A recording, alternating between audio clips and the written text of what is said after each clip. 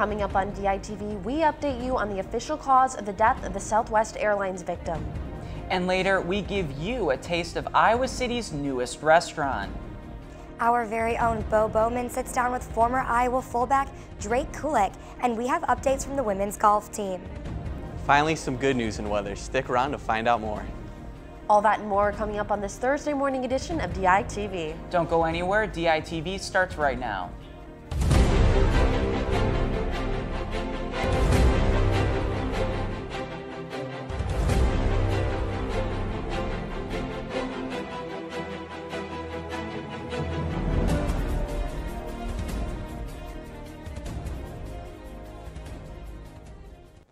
Good morning and thank you for tuning in. I'm Kaylin Cluck. And I'm Ethan Gutstein. The official cause of death of the Southwest Airlines passenger who died Tuesday has been released. According to the Philadelphia Department of Public Health, Jennifer Riordan suffered from blunt impact trauma to, to her head, neck, and torso.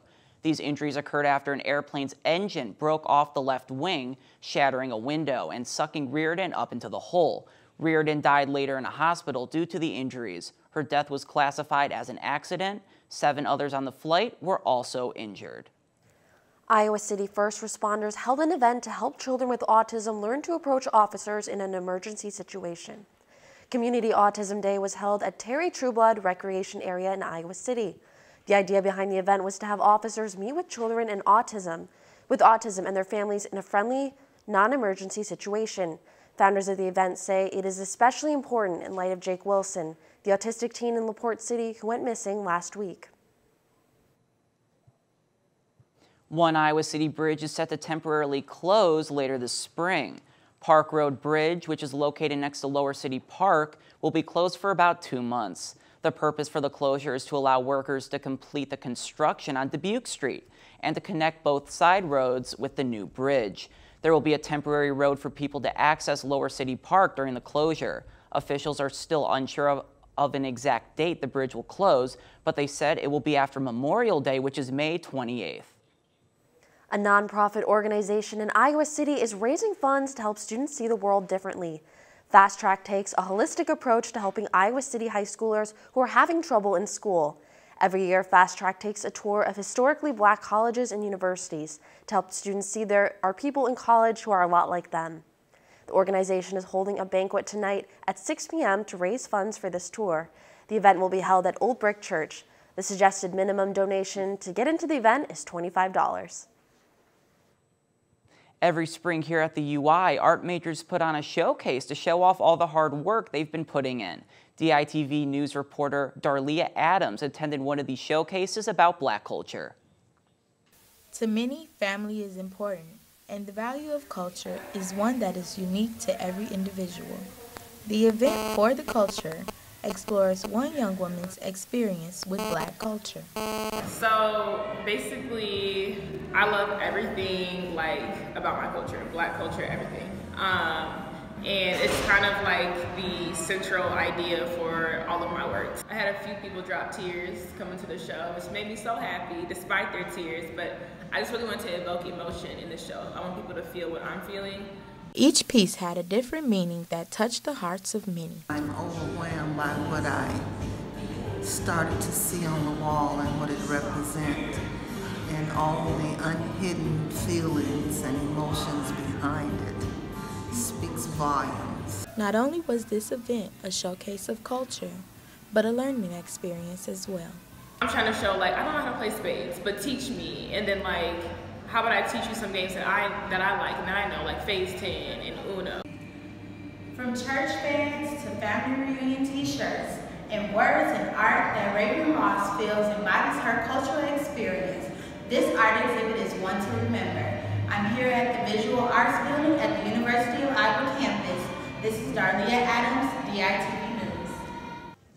And you know, Ethan, after that brutal rain snow combination yesterday, I was so relieved to step outside and see sun today. Exactly, exactly, Kaylin. I really thought Mother Nature forgot about spring.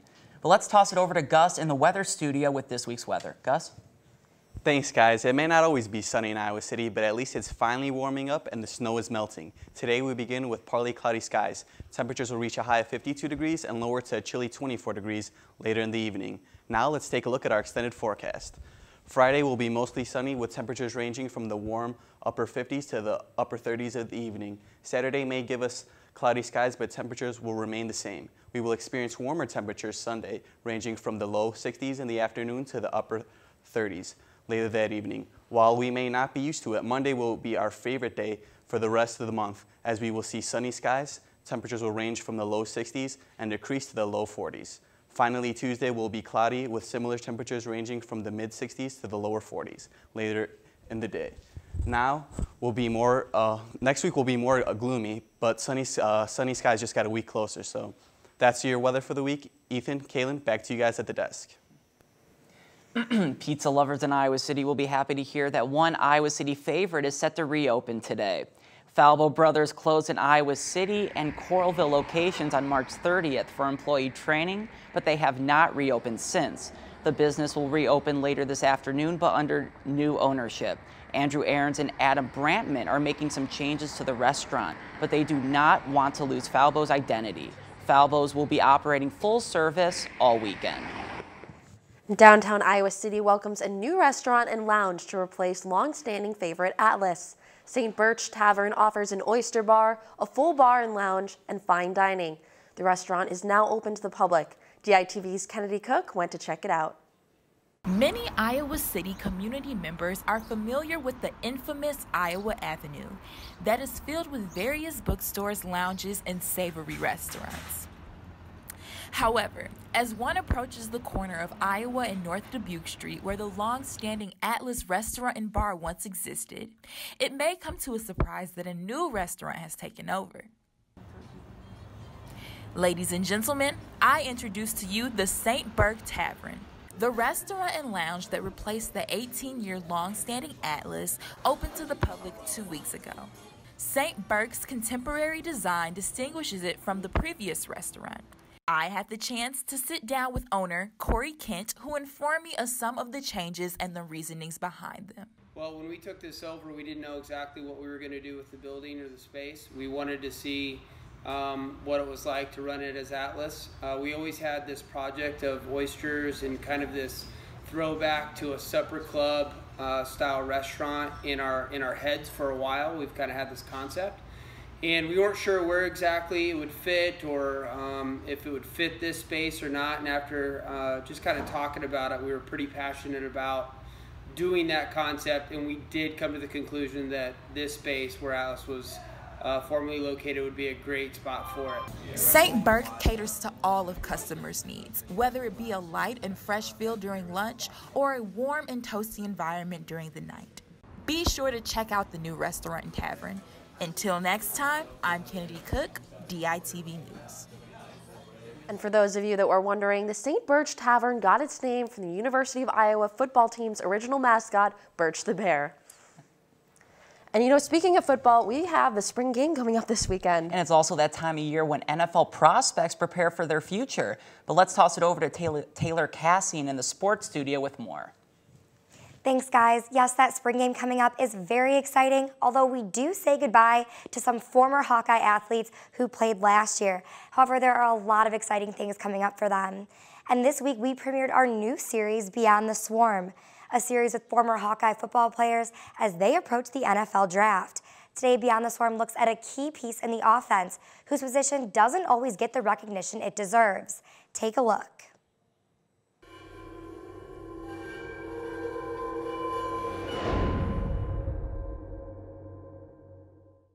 Hey guys, Bo Bowman here with you from DITV, sitting here with Drake Kulick, fullback, former fullback for the Iowa Hawkeyes, now uh, graduated and looking for forward to uh, the NFL draft. So, Drake, we're gonna just kind of walk through your career so far, er, here at Iowa, and then we'll talk a little bit about the draft too at the end. Sound good? Sounds good. All right. So your recruiting process at the beginning, you walked on here at Iowa. What was what were some of the uh, factors that you that led to that decision? Uh, I grew up being a Hawkeye fan, and I was in a fortunate situation uh, with my family. Was able to support me um, and allow me to uh, make the decision to come here over taking money from other places. Mm-hmm. Um, and it was just kind of a thing where I wanted to be part of the Hawkeye family, and I'd always wanted to, uh, you know, swarm out in the black and gold in Kinnick, and, and I was able to to, uh, to do that.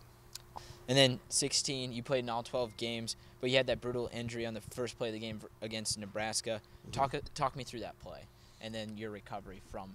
Yeah, I mean it was it was no different than any other play. Um, unfortunately, I just I just had a guy undercut me and fall into my leg and uh, broke it pretty bad. And so, yeah, it's just the unfortunate part of football is that you can't control those things. And you know, it's it's not really if it's going to happen, it's when. Everybody, every player goes through injuries. It's just the nature of the game. And that night was my night. Um, so it was an unfortunate thing to happen, but um, you know, the, this training staff the strength conditioning staff, the coaching staff, they were all really good to me during the recovery. They all had my back, and they all wanted the best for me. Um, and so everybody helped me through it a lot. What was the rehab like? It was tough. Uh, it, it, was it was long. It was a lot of times it was kind of it felt like I was just running my head into the wall because I didn't feel myself getting any better. Um, but you know, Russ and the doctors and Coach Doyle and the rest of the guys they they all were very positive to me and they let you know they just kind of reaffirmed that I would get better and it was going to be a process but you know they had my back and and they just wanted to see me get better and and, and so um, though it was a long personal process it was good and um, it it gave me a new outlook on football for sure so mm-hmm. um, yeah every, everybody really helped me through it and then you came back your senior season uh, what were some of your favorite moments from your season yeah, definitely. Um, you know, the first game back, coming out in the swarm, feeling those emotions of just being very thankful and grateful and happy that I could come back and play football again uh, after the injury. That was one of my favorite moments. Um, you know, all the trophy games, being able to celebrate with the teammates in the locker room, definitely, you know, beating Ohio State the way we did, that was really awesome. And then obviously the, the bowl game, being able to go out on a win and the first bowl game that we've won as, as, a, as a unit. So it was, it was special. You can check out the full interview with Bo and Drake on the Daily Iowans YouTube page. The Iowa women's golf team heads to Cincinnati, Ohio this upcoming weekend to conclude their season as they compete in the Big Ten Conference Championship. Let's check in with the team as they take a look back at their season so far and share their goals for the tournament. As a whole, just coming together and believing in each other, um, you know, looking across the room and just knowing that the other person has their back and just being excited for the opportunity and allowing um, good things to happen. And I think they can. I think each one is worked really hard and just trusting their process and have a little faith that something special could happen. I think just to like have fun. There's not really any pressure. I mean, we haven't had the best season, so I think that's almost like an advantage going into Big Tens because there's not any pressure. We can just go out and play the way we know we can play. I know everybody here has an awesome game and we've been working really hard. So if we just play as we know we can, like I know we can compete. So as a team, I think we all just are gonna go out there and have fun. Um, I think everyone's worked really hard this season, and we're just ready to all play well at the same time. A lot of it is just in individual growth. Um, everyone I think uh, has gotten better at something, um, if it's on or off the golf course. And within this building, I think there's just been tons of growth, and it's been exciting to see. And a lot of it's been uh, you can see it on the golf course, and a lot of it you can see in the classroom and just in their daily life. The team looks to bring back both team and individual titles, and senior Jessica Ip looks to close out her season with a Big Ten tournament win. That's all from me in the sports studio, but be sure to tune in tomorrow for a special pregame show with Mary Kate Harrion and Zach Mackey, where they'll break down Iowa's spring game tomorrow night. And that's all we have for you on this Thursday morning edition of DITV News. Be sure to head over to dailyiowan.com for all your latest news between Monday and Friday. And for more Iowa City and campus news, be sure to check out the print edition of the Daily Iowan on stands now. For DITV, I'm Ethan Gutstein. And I'm Kaylin Cluck. Until next time, Iowa City.